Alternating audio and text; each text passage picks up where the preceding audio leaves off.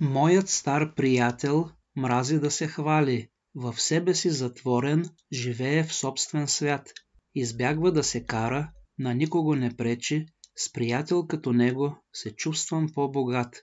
Можеш да го видиш с дънковото яке, с локмен в ръката, в рейса и пеша, загадъчно усмихнат и винаги замислен, мечтател по природа и рокер по душа.